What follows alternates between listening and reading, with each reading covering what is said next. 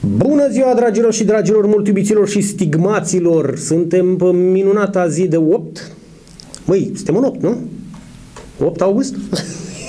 da, 8 august 2016, luni, început de săptămână, energii pozitive, cum am pus și pe Facebook încă de dimineață, să-i dăm drumul la o nouă săptămână productivă. Foarte mulți dintre voi ne-ați scris pe Facebook, pe pagina noastră oficială, dar eram sigur, băi, cum se face că intru în, uh, în emisiune, în înregistrări și încep oamenii să-mi scrie? Deci o să auziți clink, clink, clink ăsta până nu o să bată. Foarte mulți dintre voi ne-ați scris în uh, acest uh, weekend întrebându-ne pe pagina, vă spuneam, pagina oficială de Facebook, Roman24 Online, întrebându-ne dacă mai facem uh, uh, episoade din seria uh, Romanul în imagini. Uh, și deși, știu, începe rău din prima, deși am vrea să continuăm mai în detaliu ar fi ideal, da? Să mergem mai ușurel pe străduțe mai mici, să mai vedem și noi stânga-dreapta case și alte alea și știu că ați vrea să vedeți și voi treaba asta, deși am vrea să facem uh, romanul în imagini încă zeci de episoade de acum încolo, uh, vă spun că ne este uh, foarte greu uh, cu acoperitul costurilor. Nu e o noutate. Nu e o noutate ca orice producție audio-video, mm, mm, mm, producție audio-video, uh, implică niște costuri pe care în momentul ăsta nu, uh, nu ni le uh, permitem. În, uh, într-una din edițiile trecute ale 24 de titluri vă spuneam că s-ar putea la fel de bine să ajungem la donații da? La donații, nu neapărat că ne trebuie nouă, dar ne-ar ajuta, într-adevăr, să acoperim uh, unele uh, costuri. Poate pe viitor nu o să ajungem noi să fim singura televiziune din Roman locală care să meargă pe bază de finanțe ca să putem funcționa, dar înțelegeți unde vreau să, să ajung. Implică niște costuri pe care în momentul ăsta, sincer vă spun, nu ni le, uh, nu ni le permitem. Cine știe pe viitor, o, poate o să ajungem și la faza cu donațiile. O să facem tot posibilul să reluăm sau să mai adăugăm episoade la Romanul în imagini, că sunt o mulțime de zone pe care n-am apucat să le, să le prezentăm. Cele 15 minute de mers cu mașina uh, nu o să ne ducă la sapă de lemn, cel puțin în perioada imediat următoare stați uh, fără grijă, o să ajungem săptămâna asta să facem și uh, live-ul iarăși din, uh, din mașină cu romanul în imagini. Deocamdată însă sunt multe evenimente care se petrec uh, și trebuie să le, să le filmăm și să le prezentăm, cum a fost uh, ziua Cânepii, ziua, ziua Soei, numai uh, ca să vă dau niște idei de la um, stațiunea de cercetare și dezvoltare agricolă de la Secuieni, unul dintre partenerii noștri puternici, uh, unde se petrec o mulțime de evenimente importante. Uh, dacă urmăriți programul Roman 24 de la roman24.ro o să vedeți că avem ore în șir filmate de la astfel de evenimente care sunt importante cel puțin pentru un anume segment. Încercăm ne împărțim cum putem. Cine vrea să colaboreze cu noi este binevenit, adică simți că poți să ocupi o jumătate de oră de program aici, ai o chestie, o idee, vino, vorbește cu noi, este loc, frate. Vino și vorbește, uite aici, pe scaunul ăsta, cameră e și să încercăm să facem treaba să meargă. Nu uitați să mai dați și like din când în când, mai aduceți niște subscriber pe pagină ca să creștem împreună frumos. Nu uitați să urmăriți canalul de YouTube care este tot Roman24 Online, că acolo e toată arhiva în caz că vreți să vă uitați în urmă cu 2 ani, un an jumate și așa mai departe la o anumită știre, o anumită emisiune, toate sunt acolo pe YouTube, pe Roman24 Online, așa că tot înainte. Suntem pe 8 martie, 8 martie, vezi, ziua femeii eu. Suntem pe 8 august, dragilor și dragilor. Ce s-a întâmplat de-a lungul vremii? României în 2008 ceremonia de deschidere a Jocurilor Olimpice de vară de la Beijing. În 96 a apărut primul număr al revistei Dosarele Istoriei. În 1981, președintele american Ronald Reagan ordonă producerea bombei cu neutroni. În 1974, Richard Nixon și-a anunțat demisia din funcția de președinte al Statelor Unite într-o emisiune TV. În 1953, uh, URSS-ul efectuează prima experimentare a bombei cu hidrogen, pentru că nu e așa, de ce să facem o pastilă când putem să facem o pastilă universală care să ne scape de boli? gen bomba cu hidrogen. Și, ilar, ilar, dacă ne gândim puțin, în 1963 România semnează tratatul privind încetarea experiențelor nucleare în atmosferă, în spațiul cosmic și sub apă. România a semnat tratatul ăsta. România n-avea bombă, nici intenția, nici posibilitatea. Dar de ce să nu ne aruncăm și noi să semnăm acolo, că dă bine? Da? România ar fi trebuit să semneze uh, un pact de neatacare a statelor uh, puternice, gen Statele Unite și URSS. Dar noi nu aveam intenția, nici posibilitatea, dar e bine să fim acolo semnatari pe lângă uh, Statele Unite, Marea Britanie și URSS-ul. Da? E de râs. România a semnat în 63 tratatul privind încetarea experiențelor nucleare în atmosferă, în spațiu cosmic și sub apă. România ar trebui să semneze un tratat uh, împotriva exploziilor de butelie și exploziilor de nervi. da? Bun, la la la la la la la la la, altceva, nu, atât. Probabil că mai sunt uh, evenimente importante pe 8 august de-a lungul vremii, dar mă opresc aici că cine s-a născut? Hai să văd, frate, cât s-au născut. Roger Federer, jucător de tenis elvețian, Ivon de Barc, actriță germană, Fei Wong, cântăreață chineză și actriță, Florin Prunea, fotbalist român de pe vremea când se juca fotbal chiar. The Edge, chitarist irlandez și Miron Mitrea, politician român. Nigel Mansell, pilot de Formula 1 și campion mondial britanic, născut tot astăzi. Uh, Dustin Hoffman, născut tot pe 8 uh, august, actor american. Dino de Laurentiis, producător de film și Carol Lambrino, fiul lui Carol al II-lea al României. Cine a murit? Încerc să trec și prin astea, da? Cine a murit? Karen Black, actriță americană, Patricia Neal, actriță americană, uh, Emanuel Petruț, actor român de teatru și film. Da. Uh, este ziua internațională a pisicii.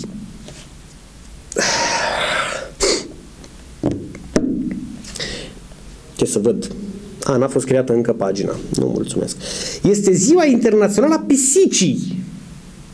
Râdeam cu una dintre amicele de pe Facebook și din viața uh, reală că zilele trecute, eu spuneam că este o zi pentru orice, adică dacă există o zi internațională a pisicii, uh, Aflați că undeva înainte de weekendul ăsta, joi, vine, nu mai știu când naiba, a fost ziua internațională a laptelui matern.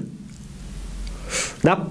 A laptelui matern, care oameni buni, fără discuție, e un aliment de bază pentru o perioadă destul de lungă în viața noastră, laptele matern. Dacă noi, ca bărbați, cel puțin ne naștem și suntem fascinați de sâni.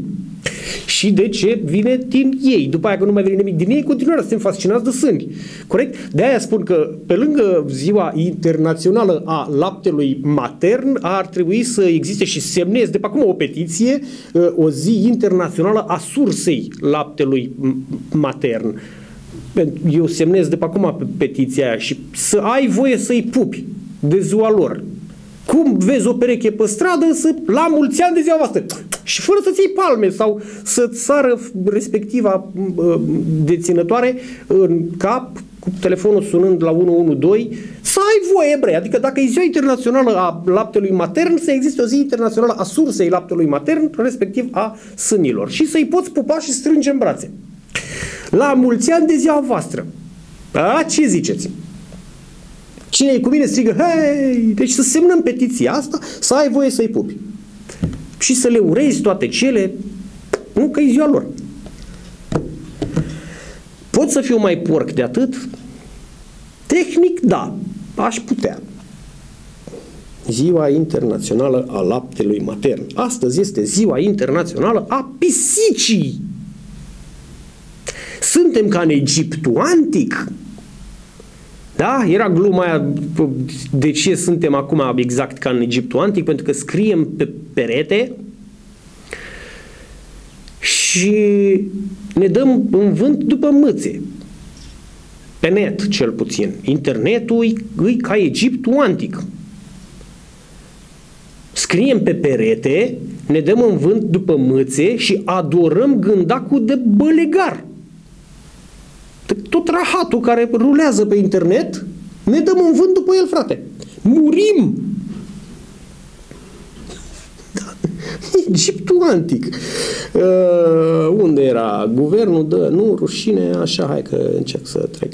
Știți că lăudam într-o perioadă sportul românesc? Îl lăudam, dar nu-l mai laud. Nu-l mai laud pentru că de ce l-aș lăuda? Da? Uh, unele țări încearcă să evolueze Păi se antrenează nu neapărat pe plan sportiv, pe plan general. Țări, oamenii încearcă să evolueze spre mai bine. Spre, nu știu, băi, ție frig, inventezi centrala de apartament.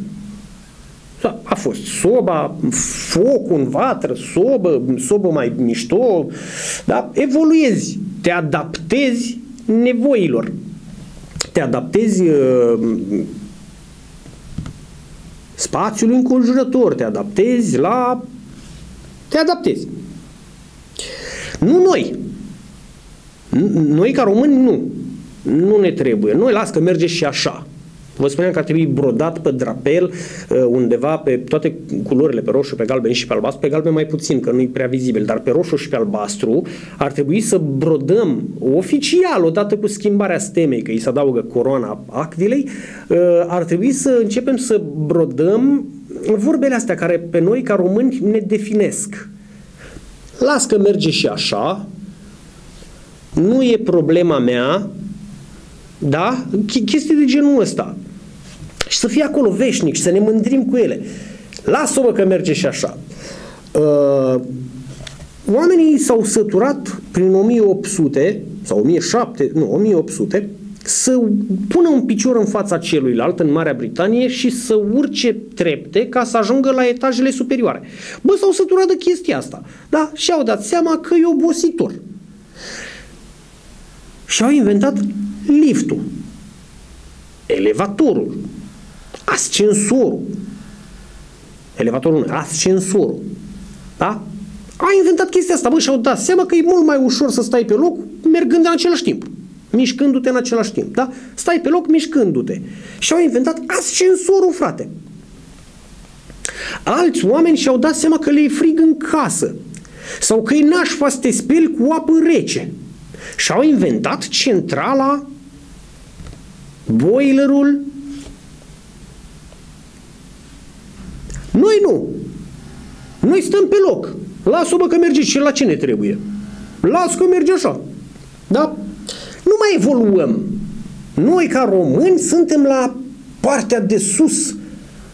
Vârful. Nu, nu putem mai mult de atât. Gata. Clink. A, și dacă vine cineva cu o idee faină și într-adevăr vrea să facă ceva în plus, îi da de pământ din toate părți. A, vrei să-ți dăm bani de la buget pentru porcăria asta? Domnule, dar face pe energie, pe electrică gratuită, nelimitată, veșnic pentru toată lumea. Hai mă lași, o să dăm de la buget bani pentru așa ceva. Noi de la buget dăm 100 de milioane de lei pentru, de exemplu, da, și o să-mi sau oamenii, ca pentru gărzile suplimentare ale medicilor care au zis că nu mai fac așa ceva. Medicii trebuie să trăiască, fără discuții. Și medicii trebuie să trăiască. Mai ales că medicii în marea lor majoritate reușesc să facă minuni. Și nu neapărat prin știința medicală, ci reușesc să facă minuni cu porcăriile pe care le pune statul la dispoziție.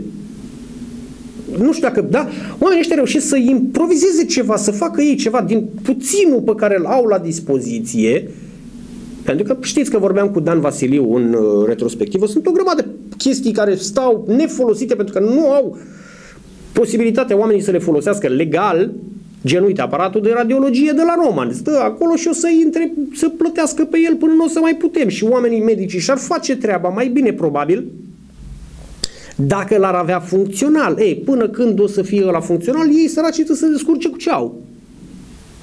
În curând o să-l chemăm pe Superman. Domnul Clark Kent, nu vă sperați, nu vă dați ochelare ea puțin jos să vedem dacă omul ăsta are piciorul rupt sau nu, sau ce dracu face aparatul ăla, că nu știu ce, presupun radiologie, ceva, să uită în interiorul omului, dacă nu sunt medic, nu mă pricep. Se uită, văd ăia ceva înăuntru tău. Și atunci o să folosim pe cale el, frate, pe Clark Kent, pe Superman, spuneți-i cum vreți, să, da? Nu vă uitați să vedeți dacă toate sunt la locul lui, la locul lor în omul ăsta, că aparatul zace nefolosit, că nu ne dă voie Consiliul Județean să-l folosim. Și atunci medicii ăștia merită tot respectul și într-adevăr trebuie să admiți faptul că și ei, împreună cu multe alte categorii, uh, se descurcă cu nimicuri. Dar se descurcă. Cu nimicuri. Că atât a decis guvernul nostru atât de înțelept că le trebuie. Nu, le trebuie mai mult. Da? Că dacă ar fi o să facă o chestie interesantă, s-ar primi o grămadă de bani de la bugetul de stat și și-ar pune spitalele în ordine. Zic și eu. Guvernul a decis să dea 100 de milioane de lei pentru gărțile suplimentare ale medicilor. Am spus că și ei trebuie să trăiască, deși nu sunt foarte încântat de ideea asta. Guvernul a decis alocarea aproximativ 100 de milioane de lei pentru creșterea plății gărzilor medicilor, mărirea urmând să intre în vigoare începând cu data de 1 octombrie, fondurile urmând a fi obținute din administrarea mai eficientă a resurselor. Băi, uh, v-am spus, eu nu sunt medic, nu mă pricep, dar n-am înțeles de ce trebuie să facă medicii gărzile astea. Păi neamț, trebuie să fie cineva acolo mereu. Faceți trei schimburi. Dacă într-o fabrică muncitorii reușesc să aibă flux continuu de producție având trei schimburi, de ce nu se poate face și în spital? Păi, frate, că nu există medici care să acopere trei schimburi. Bun, ajungem undeva. Adică ai avea nevoie de cel puțin trei urologi, trei neurochirurgi, trei cardiologi, trei, da, ca să acoperi trei schimburi. Uh, ni s-a arătat uh, destul de clar că Ministerul Sănătății, la român cel puțin, Ministerul Sănătății de la București, fără să știe ce se întâmplă în Roman, că nu vine nimeni de la minister în Roman, a decis câte persoane trebuie să lucreze în spital. Da? Atâția medici, dar n-a, n-a lămurit, nu știu dacă a lămurit exact câți anume medici pe specialitate Bă, trebuie să ai 25 de medici. Bine, frate, dar nu poți să ai 25 de medici ginecologi, de exemplu. Că nu suntem toți femei. Da? Și am avut senzația, trăiam cu senzația că aici, pe plan local, se iau deciziile astea. Băi, populația orașului, municipiului Roman este o populație îmbătrânită. Deci ne trebuie medici care să se ocupe de problemele oamenilor în vârstă. Ministerul nu are decât să sugă o prună, pentru că ei sunt la București. Dar aici, pe plan local, eu știu mai bine ce medici îmi trebuie, pentru că văd că populația are nevoie de, nu știu, dau un exemplu de zimbre, un medic, anume pentru oamenii care au trecut de vârsta a doua, a treia. Da? De ăștia îmi trebuie, nu decide Bucureștiul ce medici îmi trebuie. Eu știu mai bine că sunt aici local. Cel puțin așa o văd eu, așa ar trebui. Ok, ok. Și, a, și plecasem la faza că de ce nu fac ăștia trei schimburi? Pentru că nu sunt destui medici. Da? Ce trebuie să faci gărzi. Care gărzi înseamnă să stai 24-36 de ore în spital pentru că nu are cine să te înlocuiască, nu sunt medici. Adică presupunem că ești singurul ginecolog. Și zic ginecolog pentru că, sincer, nu-mi vine altul în minte acum. Nu... Pediatru. Da? Ești singur. N-ai cum să faci trei schimburi. Ba da, poți, dar se cheamă gardă. Și atunci oamenii ăștia trebuie să-și ia niște bani. Nu ne convine nouă nu ne convine că, bă, frate, iară cer medicii ăștia bani, iară trebuie să le dea guvernul bani. Ia că trebuie să le dea pentru că și ei muncesc. Și dacă guvernul nu le dă bani, ajungem în situația eraltă în care trebuie să le bagi tu ceva în buzunar și după aia te duci acasă și îi înjuri că-s corupți și că ți iau mită și că iau șpagă. Într-un fel și oamenii ăștia trebuie să trăiască. Și bine, nu-i plâng eu pe medici, că am văzut cum arată grila de salarizare. A venit într-o emisiune la interviu cu Flora Ordean, nu mai știu exact cine, și a arătat grila cam ce salarii se învârt la medici. Da? Deci nu pot să-i plâng. Dar înțeleg că și ei, dacă muncesc, trebuie să fie plătiți. Ca toată lumea. Și dacă nu-ți plătiți, într-un fel sau altul, trebuie să aibă niște bani în buzunar. Și atunci apelează la varianta a doua. Varianta în care îți cer ție, ca și pacient, bani. Așa să nasc șpăgarii. Fondurile de circa 100 de milioane de lei necesare creșterii plății gărzilor pentru medici în 2016 vor proveni din administrarea mai eficientă a resurselor deja existente în sistemul sanitar iar mecanismele găsite nu afectează în niciun fel prognozele de deficit bugetar, explică Ministerul într-un comunicat de presă. Potrivit deciziei guvernului, va crește plata gărzilor suplimentare ale medicilor prin raportarea la salariul de bază majorat de la 1 august. Gărzile suplimentare vor fi efectuate în baza unui contract individual de muncă cu timp parțial. Avantajul medicilor fiind că acestea vor fi um, considerate atât vechime în muncă cât și vechime în specialitate. Spor de 25% pe timpul de noapte lucrat, ceea ce până acum nu se făcea. Uh, medicii care au obținut titlul de doctor în științe medicale din 2010 încoace vor primi sporuri, uh, sporul legal de 15%, care până la 1 august nu mai fusese acordat. Timpii de lucru și de odihnă vor fi regândiți în termen de flexibilizare, de grijă față de efortul depus față de medici și de siguranță a pacienților. Întrebarea este care e siguranța pacienților? N-am priceput-o exact, pentru că știm situația în care se găsește sistemul de sănătate. Uh, dreptul de a nu lucra continuu, a, de, vorbim de niște drepturi aici, de a nu lucra continuu mai mult de 24 de ore, dreptul de a avea liber după gardă cel puțin 24 de ore, uh, Federația Solidar- Solidaritatea Sanitară ceruse uh, cel puțin săptămâna trecută în cadrul contractelor individuale de muncă cu timp parțial uh, pentru efectuarea gărzilor suplimentare să fie menționate dreptul la un spor cuprins între 25 și 75%, 25% este minim obligatoriu. Bine. Eu sper să le dea, adică de ce nu? Toată lumea trebuie să câștige și să trăiască. Da? Toată lumea. Interesant este că și noi trebuie să trăim și uh, eu înțeleg că medicii ăștia o să-și ia niște, o să le crească cumva plățile astea, dar în continuare, deși nu ține neapărat de medici, noi o să crăpăm în spital. Deci toată lumea are creșteri, dar noi intrăm în spital cu una și murim de alta. Și uimitor, murim de chestii pe care le contactăm acolo în spital. Nicolae Mărășescu, unul dintre cei mai mari antenori din istorie, a decedat la un an după o intervenție chirurgicală la genunchi, dar a fost ucis de bacteriile luate în spital, scriu cei de la sport.ro.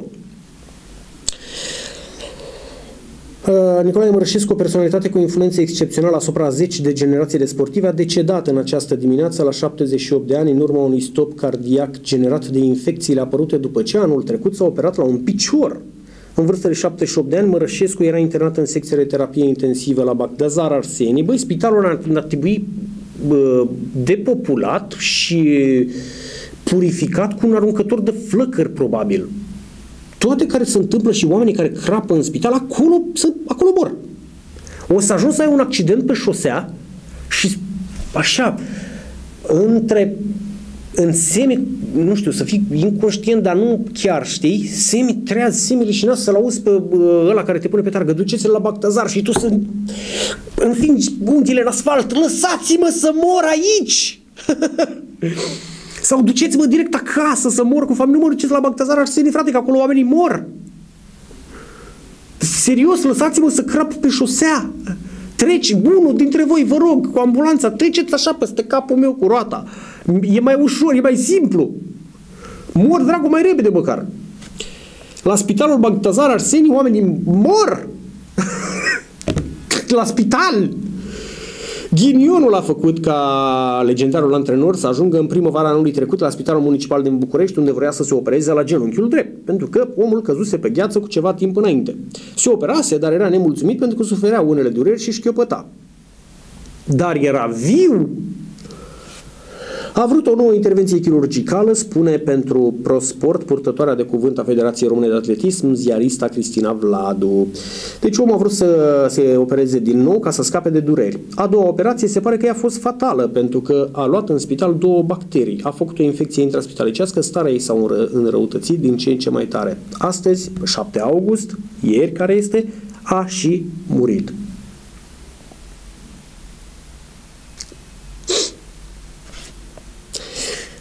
Despre ce vorbim? Sporuri, sporuri. Eu înțeleg, munca oamenilor trebuie plătită. Așa funcționează sistemul. Muncești, ești plătit. Depui un efort, trebuie să iei niște bani pe chestia asta. Pe de altă parte, pacientul intră în spital pentru o operație la genunchi. Băi, la genunchi nu ai inimă, nu ai plămâni, nu ai rinichi, n-ai creierul. E un genunchi brez, două chestii care se freacă între ele și mori. De ce? Ai luat alte bacterii. De unde? În spital. O să ajung să spui, am călcat într-un cui. Ce să risc mai departe cu tetanusul sau să mă risc și să mă duc în spital și să iau orice altceva. Prefer inamicul pe care îl cunosc. Stau dracu cu tetanusul. Organismul meu o să fac o treabă la un moment dat. Dar să mă duc în spital și să iau nu se știe ce, ăla e inamicul necunoscut, e cel mai periculos, e ca politicienii. Prefer un inamicul pe care îl cunosc. Ce ai? Tetanus, frate! Ce ai? Holeră! De ce nu te duci în spital? Pentru că prefer să știu de ce sufăr. De ce suferi? De holeră. De ciumă. De unde știi? Am bube negre. Am ciumă, sigur. Pe aia măcar o cunosc. Păi și de ce nu mergi în spital? Ești tâmpit? De ce să mă duc în spital? Acolo pot să iau orice altceva și nu știu ce. O să mă trezesc că mi iese ca, știi, ca în alien ceva. Și nu știu ce. Lasă-mă dracu cu ciuma că măcar pe asta o cunosc. Strămoșii mei au scăpat de ciumă la un moment dat. Cumva. Da? Cătălin Tolontan scria pe 18 iulie pe blogul său că Nicolae Mărășescu s-a infectat uh, cu bacteriile Piocianic și Klebsiella la Spitalul Municipal după intervenția din luna mai a anului trecut pe care apropiații spuneau că a cerut-o personal, deși nu era imperios necesară, Mărășescu a intrat în comă și a revenit parțial după două săptămâni, dar de infecții nu a scăpat. Starea sa s-a agravat permanent. În mai 2016 a ajuns la Institutul Matei Balș în stare critică cu septicemie. Domnia sa, Nicolae Mărășescu, s-a născut în octombrie, în noiembrie 37 și a practicat atletismul la Steaua. A câștigat un titlu național în 65 la 400 de metri și a fost nevoit să renunțe la carieră din cauza unei accidentări. A ales mai apoi meseria de antrenor, în care a performat ca nimeni altul. A fost unul dintre cei mai importanți tehnicieni din istoria atletismului, reușind să creeze pe bandă rulantă campioane mondiale și olimpice și iată a ieșit din viața asta ca un simplu caz de infectare cu bacterii în spital Asta așa, ca să mergem în paralel. Dacă vă mai aminte, înainte v-am zis de creșterea sporurilor pe gardă a medicilor, lucru pe care, bineînțeles, îl consider normal, în continuare voi spune, e doar ironic, da? 100 uh, de milioane de lei bagă guvernul în plățile astea a cărților, în paralel încă un om al câtelea, numai anul ăsta, care crapă în spital îmbolnăvindu-se de altceva, luând alte alea din spital.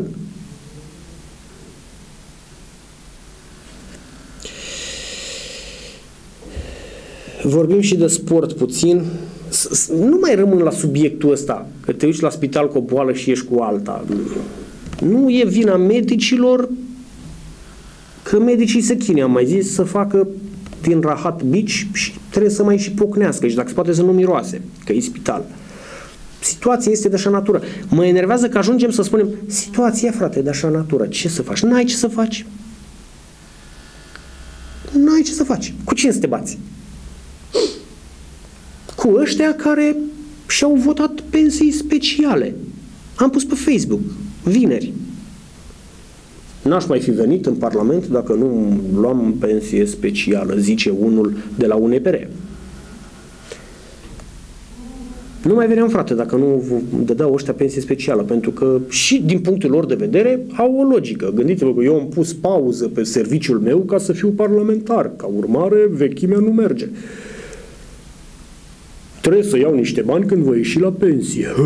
Zise omul care n-a luat cuvântul niciodată în plen. N-a venit cu nicio idee, N-a vorbit nici măcar 5 secunde, măcar să se prezinte. Bună ziua, sunt de la UNPR.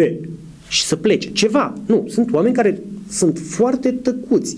Nu vine cu nicio idee. În schimb, li se pare că trebuie să fie plătiți pentru chestia asta. Deci că merg acolo.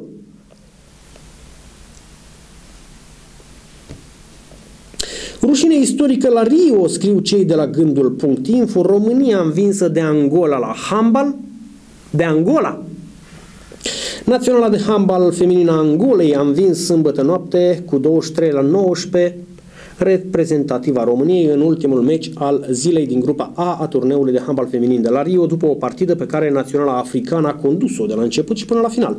Naționala României a început meciul ezitant și a fost condusă cu 3-0, pe urmă fotbalistele antrenate de Thomas Ride au marcat primul gol în minutul 11 abia prin Cristina Neagu din aruncare de la 7 metri. Au urmat câteva momente bune din partea României care a restabilit egalitatea la 6, Însă jocul de nu o să vă povestesc eu acum toată acțiunea din uh, meciul ăsta. În schimb, mi-a plăcut că vine taică mi dimineața și îmi zice, bă, tu ai văzut cum arată portărița de la Angola? E atât avere. Ar trebui să o filmezi cu o cameră mai mare, pentru că n-ar încăpea în cadru. Cum să-i dai gol? Și asta nu zic eu, n-am văzut meciul, sincer nu știam cum să joace România cu Angola. Eu și v-am spus, cu sportul ne-am despărțit prieteni, nici măcar amical ne-am despărțit și fiecare a plecat în amăsii, da? Sportul a plecat într-o parte, eu am plecat în altă parte. N-am uh, treabă. Am văzut în schimb partea cu tipul care a sărit la capră, nu știu ce a făcut el acolo și a frânt piciorul la aterizare și am zis că dacă și sportul a ajuns în felul ăsta, da? Imaginea a rulat obsesiv pe toate programele TV. Și știu asta fără să mă fi uitat la televizor, pentru că n-am mă mai uit la televizor de ani de zile. Am un televizor, bineînțeles, și stă acolo ca să țină peștera la de sticlă și mileu. Da? Și mai și plătesc abonament pentru el. Dar nu mă mai la televizor. De ce? Pentru că nu vreau să mă tâmpească. Prefer să stau pe net și să mă tâmpească internetul. Da, măcar pe internet am parte de informațiile pe care le vreau eu, nu pe care mi le dau ei. Și alea tăiate și trunchiate, da? Uh, în schimb, sunt convins că au rulat obsesiv imaginile cu tipul care aterizează și își frânge piciorul la aterizare. Cu siguranță. Pot să pun mâna în foc. Cum? Uite așa să termină o carieră. Aterizezi greșit și se duce dracu cariera ta de sportiv. Deci n-am să vă povestesc eu meciul cu Angola, România. Bă, îmi stă pără în apă, dar așa e, nebun. Uh, n-am să vă povestesc eu meciul România-Angola. Doar mi-a plăcut ca fapt divers că a venit aici dimineața și zice, bă, tu ai văzut cum arată portărița ălora? Cum brezi, ce imensă! E ca și cum ar fi trei oameni într-unul singur și au, au pus-o în poartă. Au chinuit puțin să, să fixeze între barele laterale și ăla e portarul. Trei gol. Succes. Deci, cel puțin din punctul ăsta de vedere, formațiunea da, reprezentativa României ar avea o explicație. Există o explicație care n-am putut să dăm gol. De ce? Că era închisă poarta. Deci să-i pune și un lacăt și gata. România a suferit o înfrângere neașteptată 23 la 19, v-am spus, în grupa în celelalte două partide, Brazilia, Norvegia 31-28, Spania, Muntenegru 25-19. Următorul meci al României va avea loc pe 8 august împotriva gazdei uh, Jocurilor Olimpice și anume reprezentativa Braziliei. Râdeau ăștia din uh, presa centrală că sunt foarte curioși dacă România, după ce se întoarce de la sală de unde se petrec evenimentele sportive, știu care este locul în care locuiesc ei. Că sunt trei etaje aproape invizibile. Vorbeau de cum și-a luat-o România nu doar sportiv, ci și la capitolul imagine în satul olimpic. Da? S-a nimerit să avem noi parte de niște ani, cred că de vreo 10 ani încoace, de cei mai proști oameni care să se ocupe de imaginea țării, în orice domeniu. Deși paradoxal, Uh, România este una dintre țările cele mai bine uh, reprezentate la, prin numărul de agenții de publicitate, că sunt agenții de publicitate, da? Nu știu cum dracu reușesc ăștia de la conducere, Ministerul Turismului, Sportului, ar trebui să existe un minister al imaginii, da? în care să lucreze măcar o femeie de serviciu. Uh, reușesc să lucreze cu agențiile care vin cu cele mai proaste idei. Nu știu dacă înțelegeți. Cineva ar trebui să gândească uh, Știți că se face uh, clipul ăla anual cu brandul de țară, etc., etc., da, să facem și noi cunoscută România în lume. Băi, sunt o, dacă intrați pe Facebook și căutați despre România, pe Facebook, nici măcar pe Google, veți găsi filmulețe. Uite cum a făcut Ciprian zilele astea. Ciprian s-a întors de pe Ceahlău, că a fost omul și el în zilele lui de concediu. A postat un filmuleț cu Ceahlău, bre, nici măcar România toată. Masivul Ceahlău. Absolut superb. Da? Bine, el are ochiul format, că e cameraman, e operator TV. Mă să gheață, cred și eu că știe ce imagini să ia. Dacă m-aș duce eu cu telefonul, aș face niște porcării. Dar există în România o grămadă de freelanceri de ăștia care lucrează pentru ei, nu sunt angajați. Da? Uh, Uh, care reușesc să facă niște clipuri și să monteze și să lucreze și să editeze și să lipească și să stuchească între două căpețele de film și să le pună cap la cap și să iasă filmulețe și clipuri de prezentare absolut fantastice legate de România. Bă, cum dracu face Ministerul Sportului, Turismului, cât ori fi acolo? Bă, lucrează cu ei mai proști și le dau și bani pe chestia asta. Zeci de mii, sute de mii de euro ca să aibă parte de cea mai proastă idee posibilă. Cele trei etaje pe care le ocupă, într-un bloc din ăla din satul olimpic pe care le ocupă România, sunt marcate printr-un drapel. Gata. Aia a fost, ne-am făcut datoria. Uh, cât a costat? 500.000 de euro. Frate, bună idee, să punem un, un drapel. Ok, trei etaje nu e mult de lucru. Nu ai spațiu mult de lucru. Dar eu sunt convins și pot să pun mâna în foc că aici în Roman știu cel puțin patru oameni care gândesc și ar fi venit cu măcar două idei mai bune decât asta. Hai să punem un steag. Cum se vede România în lume? Unde locuiesc românii? Vezi, matale, steagul ăla care e aproape la fel cu cel al Andorei și al Ciadului și al Republicii Moldova? Da, acolo stau. Păi, din astea patru țări, care e acolo? România, bre, nu ți-ai dat seama? Un steag care e roșu, galben și albastru, fără stemă pe el. Practic ăla e al Ciadului. Da? A, atât i-a dus pe ei mintea. Să pună un steag. Evident, ei s-au dus acolo ca sportiv, nu ca artă publicitară. Am înțeles ideea. Dar hai să mergem partea altă. De vreo 10 ani încoace, România este fantastic de prost reprezentată la capitolul imagine. Târgurile de turism, atât cele locale, cât și pe plan internațional, deci nici în, nici în interior România nu reușește să-și facă reclamă ca lumea. Târgurile de turism din străinătate permit țărilor să-și facă publicitate și să arate altor țări ce au ele mai bun. Câmpii cu maci, floarea soarelui, prostituate pe autostradă, porci, ceva, orice, cu condiția să-i faci pe turiștii din alte țări să dea buluc la tine în țară.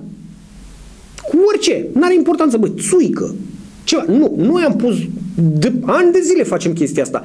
Niște pliante, pliante, bre, care să fac la mii de exemplare. Da? A4 date în 3. Mă mir că nu au mers pe flyere de alea din alb-negru, că sunt mai ieftine. Pe care scrie Hai bre în România. Două manechine care stau așa, că, na, sunt manechine. Sunt păpuși din alea. Nu poți să le așezi oricât ai vrea tu. Dacă ai trecut pe lângă ele și a vibrat puțin pământul, le fac... Da? Îmbrăcate, evident, în costume populare, pentru că nu e așa în România. Toți mergem în costume populare. De dimineață cum mă trezesc că mi-e împing căciula aia pe cap, îmi trag pe mine soarele populare, mă încing cu chimirul și îmi trag opincile și mă la muncă. Asta ne reprezintă, ne reprezintă pe noi. Costumul popular, frate. Musai trebuie să avem costume populare. Bună ziua, ce vreți să veniți în România? Da, bă, avem niște costume populare foarte mișto. Bă, mulțumesc frumos, le văd pe manechinele astea. Cu ce altceva să laude România? Tradiții! Hai, tradiții! Am mănăstirile din nordul Bucovinei! Popi! Cântece frumoase, închinate lui Dumnezeu! Dar viață de noapte nu aveți, adică la ce să merg să stau o săptămână în România? Ce am de văzut? România e frumoasă, da, domnule, dar ce am de văzut? Da? Nu știu cum dracu să face, România este fantastic de prost reprezentată la târgurile de turism. Se face, presupun, o licitație la nivelul Ministerului Turismului și Sportului. Dar probabil că doar ăștia care n-au ce face, gen, gen studenții, hai, vrei, băi, vrei să câștigăm 500 de euro? Da, hai să ne băgăm și noi în licitația asta. Sau se lucrează cu firme masive care încasează 200, 300, 500, un, un milion de euro pentru chestia de imagine, din ăștia un milion de euro se păstrează 900 de mii de euro în firma asta și se subcontractează o pereche de studenți. Bă, aveți ce face weekendul ăsta? Nu, fă și mie un, o chestie în uh, PowerPoint. Că e pentru minister și ați mulțumiți cu orice. Dacă le dăm o chestie care să ruleze, care nu sunt obișnuiți cu imagine, o să le curgă din gură de admirație. Da? Și studenții a doi între 4 beri și 5 mici, că de atât le ajung banii, fac porcăria asta în PowerPoint, pe care o predau firmei care și-a oprit 900.000 de euro, fără să miște un deget, care o predau ministerului și ministerul este What the fuck, frate, ce chestie minunată, uite să mișcă imaginile alea. Cu asta mergem la, nu știu, la Milano, la târgu de turism. Și când ajungi la Milano și vezi că alte țări, gen Angola, Angola are dictastandu, frate, holograme, nave spațiale care rulează. Bă, veniți în Angola, promitem să nu vă tăiem capul.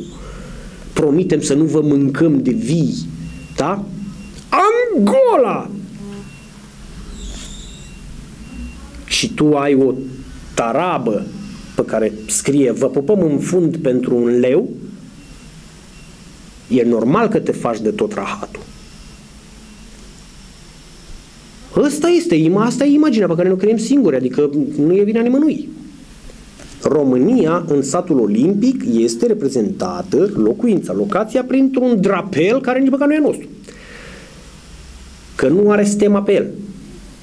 E un drapel care acoperă cele trei etaje, evident, dar nu e a nostru, că nu are stema pe el. E al Ciadului. Atât a dus pe ei minte. Arafat este, nu știu dacă spun optimist, pesimist, realist. În cazul unui nou colectiv am putea îngriji în țară doar câțiva arși foarte grav. Restul tot în afară. Bine că au trecut cât? Cât a trecut de la colectiv? Și s-a făcut fix o laie. Și deși mi-aduc aminte, bă, nu pot să nu iau în discuție și antoltul ăsta, deși sute de mii de tineri hai nu sute să fiu realist, zeci de mii de tineri au ieșit în stradă urlând împotriva guvernului și de altfel a și dărâmat un guvern întreg uh, în urma situației din colectiv, aceiași tineri se îmbulzesc acum într-un loc, în spațiu deschis, evident, un parc, uh, unde sunt iarăși zeci de mii adunați la un loc unde se bea, se fumează, se bea, se bea, se bea, se bea, și tare, nu cred că vreunul din ei și-a pus întrebarea ce s-ar întâmpla dacă ar izbucni un incendiu între noi. Cum evacuezi 15.000 de tineri închiși între niște garduri? Probabil că organizatorii și-au luat toate măsurile, măsurile de protecție și în, pentru cazul unui incendiu. Știu, vine dracu vreunul atât de beat încât îi, uite, îi curge vodka din gură și tu fumezi și îți dă foc. Da? Caz. Se poate întâmpla. Secretarul de stat în Ministerul de Interne, Raed Arafat, uh, șeful Departamentului pentru Situații de Urgență, susține că în eventualitatea producerii unei tragedii de tipul cele din colectiv, în spitalele românești ar putea fi îngrijiți doar câțiva pacienți aflați în stare gravă, restul urmând să fie tratați tot în străinătate. Bă, adevărul că nicio țară din lume nu cred că are posibilitatea să primească 50-60 de arși.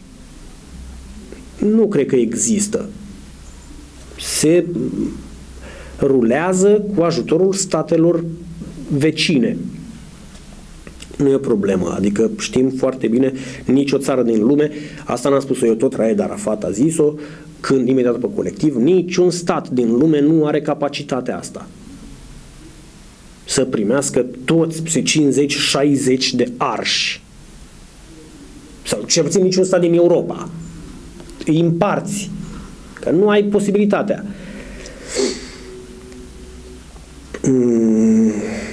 Arafat consideră că nu este normal ca în România să nu se fi construit în ultimii 25 de ani cel puțin patru spitale noi, în condițiile în care susține acesta un spital complet utilat nu este o investiție foarte mare și costă echivalentul la câțiva kilometri de autostradă. Asta e adevărat pentru că știm că un kilometru de autostradă costă un miliard de lei. Da, la noi, e uimitor. E practic o plătești ca să crească singură.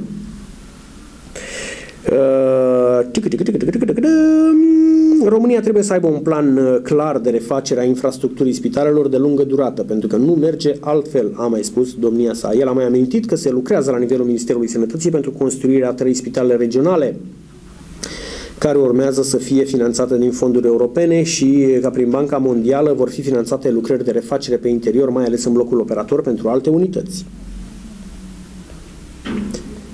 Bine.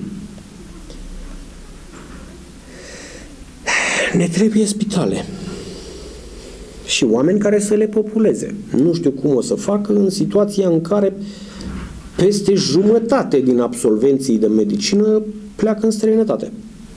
Cu cine le populezi spitalele respective? Că dacă e un medic care a terminat fantastica medie 10, să zic, da? Și el mai bun teoretic, nu, nu teoretic, e el mai bun în teorie la terminarea facultății, trebuie să-l și plătești. Și o să ajungă în spital. Acum, știți cum e? Eu citesc din memorie ce mi-au spus ăștia care termină facultatea. Te trezești că ești din facultate, intri în spital, bine, faci practica aia, cum se cheamă? Uite, îmi scap acum. Și nu e nimic din ce nu e ce ai învățat tu în facultate, e, e diferit clar că practica e una și teoria e alta. Da?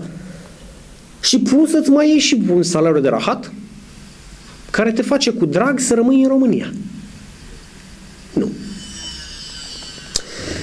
Brașovul a cunoscut un fenomen extraordinar pe care uh, nici străbunii noștri de 75.000 de ani încoace nu l-au văzut. A plouat la Brașov. La fel ca și la Timișoara, vineri.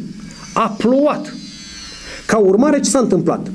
E prăpăd în Brașov, frate. Nu mai circulă nimeni. Rețeaua de canalizare n-a făcut față. Apa a ajuns aproape de geamurile mașinilor. Mulți șoferi au rămas blocați cu mașinile în mijlocul apei, în Brașov. A plouat, adevărul că nici nu... Băi, eu nu cred că există Fuh, nu vine să cred, frate, ce evenimente fantastice se întâmplă în 2016 în România. A plouat. E o chestie pe care n-am întâlnit-o niciodată. Ca urmare, dacă a plouat, musai trebuie să se inunde un oraș întreg.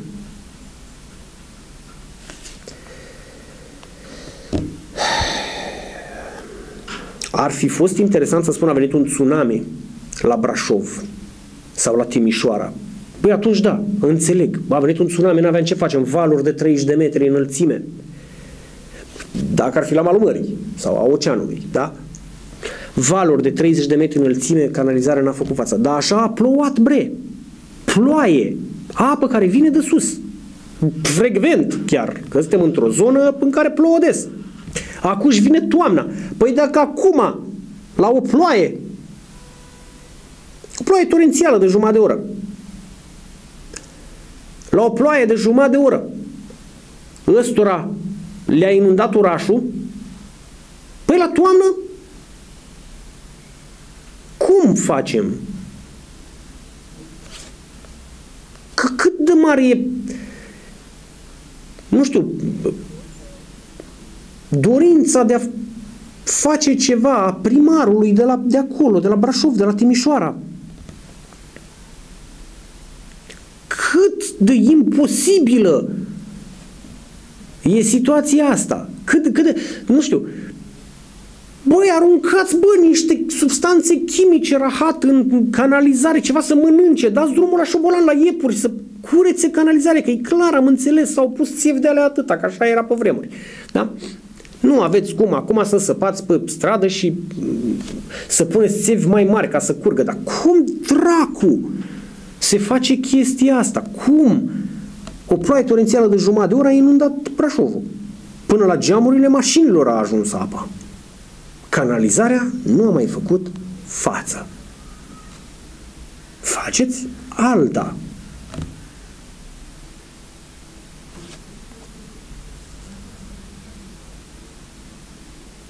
Bă, eu anapod, adică gândesc eu prost, dacă vezi că se inundă orașul, și hai că poate la Brașov nu s-a întâmplat des să se inunde. La Timișoara iarăși, nu cred că s-a inundat anual. Dar sunt zone în care știm că acolo se petrec chestiile astea. Și de ani de zile oamenii ăia n-au făcut o schimbare. Să nu se mai întâmple.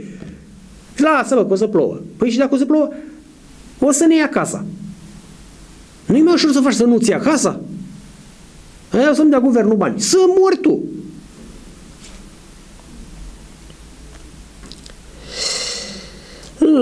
Așa. Există o țară, cică, unde poți să furi de mâncare dacă ți-e foame, iar poliția nu o să-ți facă nimic.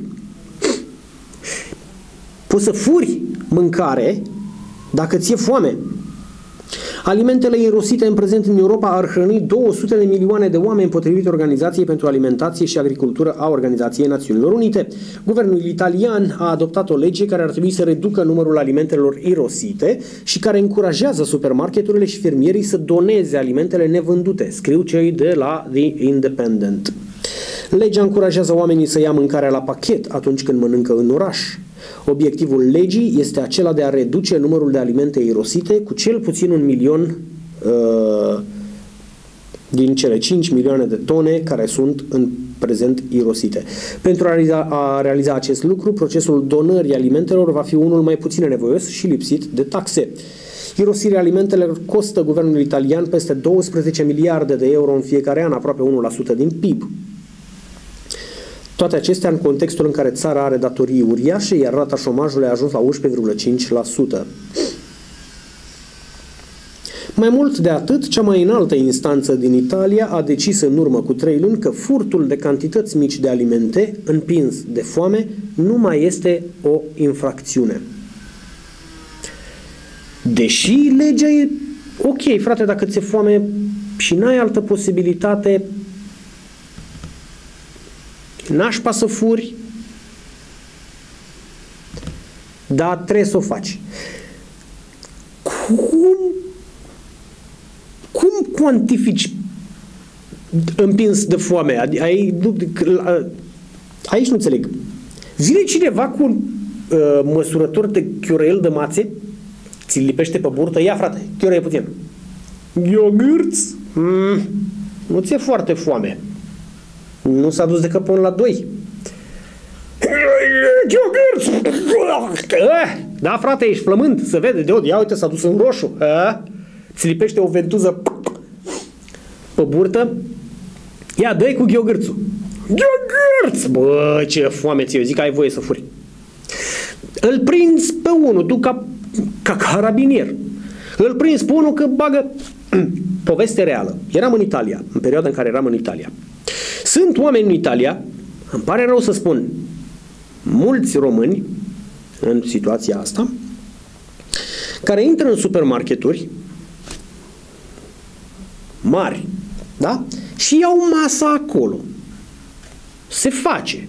Supermarketurile trec chestiile astea la pierderi. Pentru că se poate. La pierderi. Cum iei masa în supermarket? Te miști și printre rafturi, desfaci un pachet de biscuiți, iei vreo 5 biscuiți și îi mănânci, mergând. Nu trebuie să iei pachetul după tine, că te prinde ăla. Îl pui la loc.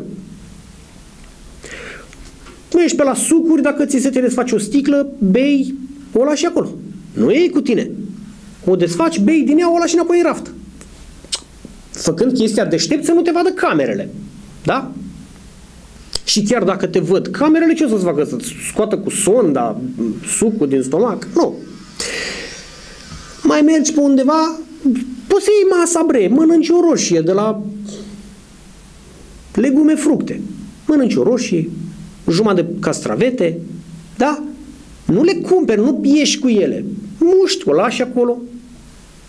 Înțelegeți ce zic? Și am văzut oameni în Italia făcând chestii, și nu doar români, ci și italieni. De unde știu că erau italieni, vorbeau între ei. Vii cu copilul și îi dai de aici o biscuită de colo, o napolitană. De, dacă e copil, cere, doar nu o să-i cumperi un pachet de 800 de napolitane când poți să-l desfaci, e o napolitană și o dai și el o mănâncă și mergi mai departe. Copilul e sătul și a făcut treaba, tu n-ai plătit nimic. Supermarketul le trece la pierderi. Deci se face chestia asta, lucru pe care l-am văzut de altfel și în Spania.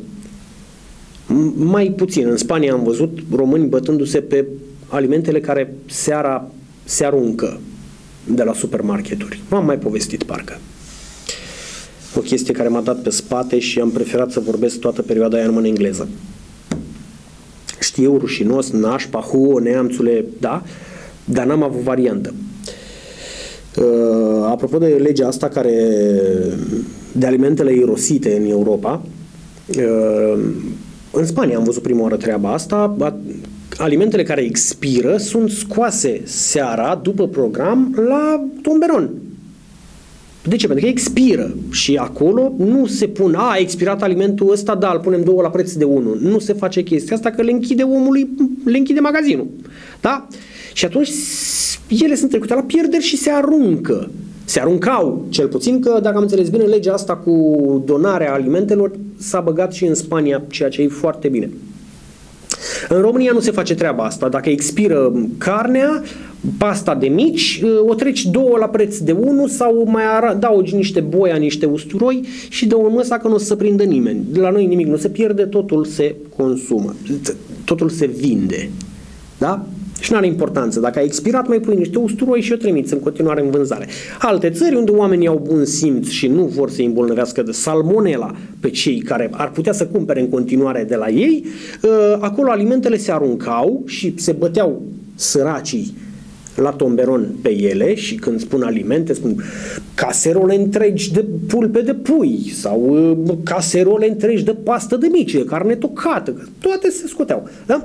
E, acum se pot dona aceste alimente, e o lege foarte bună, poate ar trebui impusă și la români, dar impusă cu dinamita. Da? Dom'le, ți-a expirat carnea? Da. Donează-o că nu te costă nimic.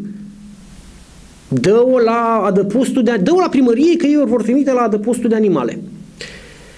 Și din modul ăsta, primăria nu o să mai aloce bani pentru alimente animalelor fără stăpân. De ce? Că le hrănim noi. Da?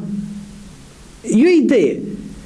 Domnule, ai restaurant? Da, a venit un nene și a comandat o porție de, nu știu, friptură de porc, o ceafă la grătar, dracu, ceva și n-am mâncat decât jumătate, da. Ori îl obligi să o ia acasă în pachet, ori o pui deoparte și la sfârșitul programului, dar noi suntem români, că o iei acasă, că trebuie să scoți un leu un leu pe zi dacă îl scoți, ai făcut o afacere, da? Dar normal, le pui pe toate într-o tavăietă așa mare, într-o cutie imensă și la sfârșitul zilei te duci și o donezi dracului. Hai că nu dai unor oameni fără adăpost, că nu o să le dai resturile alimentare ale altora. Da? Dar donezi pentru adăpostul de câini. Domnule, uitați, v-am adus hrană pentru animalele astea pentru două zile, că atât am avut azi. Resturi alimentare, mă, ce nu-ți mănâncă clienții. 8 cartofi. Nu știu, ce poți să le dai? E clar că nu poți să le dai și animalelor alea orice, că le îmbolnăvești dracului. Dar ceva, da? Și le duci acolo. Supermarketurile la fel. Bă, uite, am început să mucegăiască pâinea, dracu, nu o cumpără nimeni. Am luat 800 de pâini și n-am vândut decât 200 pare rău, este o pierdere, na, dar decât să stau să mucegăiască și să o vând două pâini mucegăite la preț de una și să risc să vină ăștia de la DSV, ACP, me, cum se cheamă, și să-mi închidă coșmelia, mai degrabă mă duc și le dau la, băi, domnilor, nu vă supărați hingherii la adăpostul de câini, primiți pâine mucegăite care le puteți da, le aruncați pe alea care nu le dat la porci dracului, da? Dar ce nu-i mucegăit puteți să dați la animalele alea pe care le hrănim oricum din bugetul local? Păi am putea, perfect! Dați-le acolo. Astăzi mi se pare că se face întâlnirea primarului cu stranierii, nu? Nu. Că primarul își serbează ziua de naștere, e plecat. Când a zis că pe 14, nu? Aș vrea tare mult să fiu și eu acolo. Băi, nu mă apropii de final cumva? 10.39, nu. Ba, cred că am ieșit de când hău. Habar nu am. În fine, prima țară care interzice aplicația Pokémon Go este, evident, Iranul, care a interzis aplicația Pokémon Go din cauza unor rațiuni legate de securitate. Fără a preciza însă care sunt acestea. Securitatea celor care joacă jocul. Că băia nu văd nimic în jur. Acum, sâmbătă mi-am luat un cap în gură, neintenționat, evident, de la un puștache cu telefonul. Nu m-a văzut în fața lui. Eu nu sunt mititel și și strălucitor, că n-am păr, bate soarele la mine în chelie, ca farul din Alexandria. Da? Emit raze în toate direcții, sunt ca Phoebus Apollo.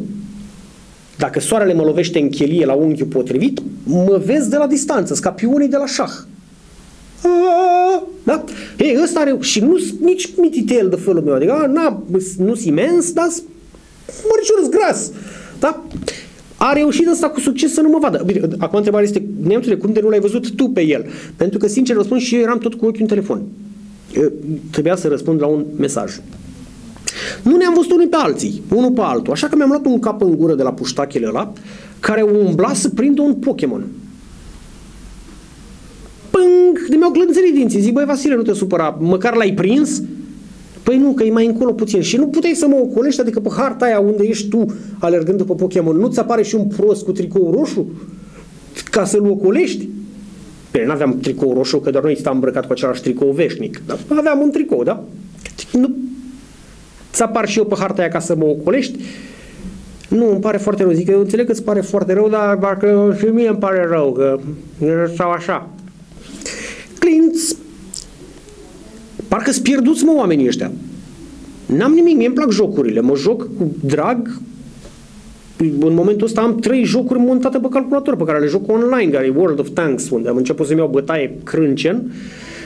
Uh, Star Wars, uh, pe care îl joc de când hău și mai joc uh, DC Universe Online, unde mă joc cu supereroi și aș vrea să mai găsesc și alte jocuri Că îmi place să mă joc. Dar să merg cu ochiul în telefon tot timpul și să prind Pokémon e cam multișor.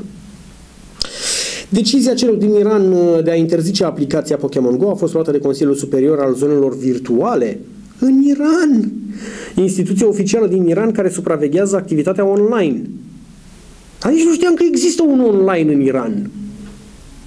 Altfel, astfel, Iranul devine prima țară care interzice Pokémon Go, joc care îi provoacă pe jucători să viziteze locuri în lumea reală pentru a prinde monștri animați. Băi, sunt uh, pro și contra Pokémon, uh, Pokémon Go. Sunt cei care spun, băi, o aplicație au scos și ăștia care îi face pe oameni să nu mai fie sedentari și pe aia vreți să o interziceți.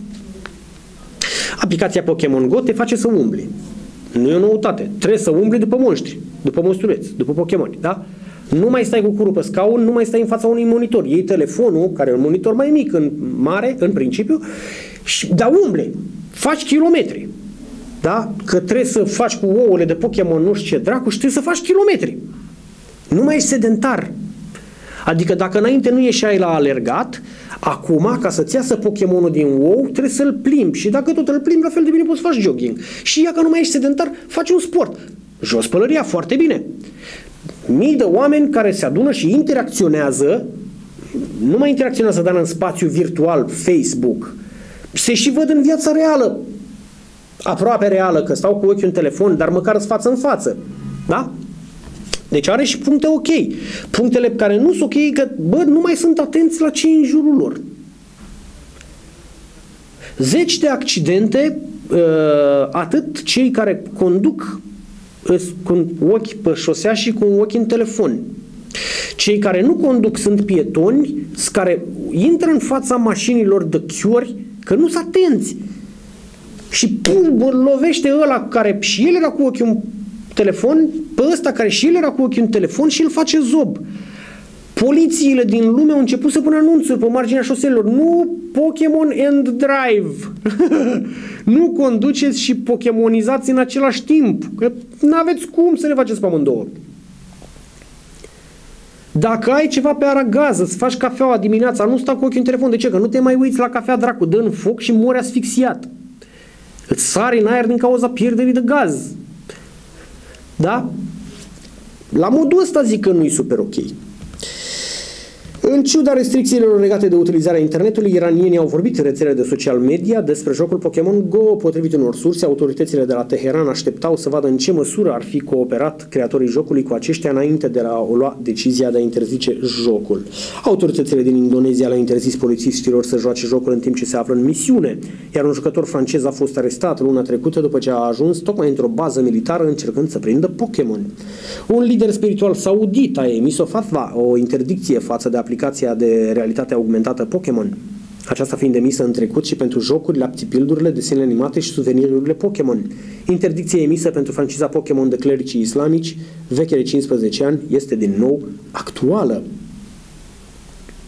Bine, ăștia sunt împotriva orice. Da, deci Iran este prima țară din lume care interzice Pokémon Go. Cred că mă apropii de final. Mă doare gâtul.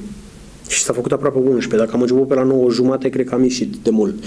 Dragilor și dragilor, vă mulțumesc foarte mult pentru că ați fost și astăzi împreună cu mine eh, la 24 de titluri. Nu uitați să ne urmăriți pe Facebook, pe pagina oficială Roman24 Online, pe site-ul nostru pe roman24.ro sau să verificați toată arhiva, tot ce a apărut pe televiziunea asta online de când a început ea. Eh, pe YouTube, Uh, la, bineînțeles, Roman 24 online. Nu uitați să ne dați like, dacă vreți să dați like, ne-ar prinde foarte bine, nu nouă, ci canalului. Subscribe pe YouTube, pentru că de obicei acolo urcăm prima oară toată, toate materialele, deci în momentul în care aveți, uh, sunteți uh, abonați la canalul nostru, primiți imediat și ce am mai ridicat pe YouTube, abia pe urmă apar și pe Facebook și pe pagina noastră pe roman24.ro. Cam gata și cu self-promo. Nu uitați că ne vedem, sper, din tot sufletul mâine la altă ediție a 24 de titluri. Până atunci, care fiecare dată, toate bune!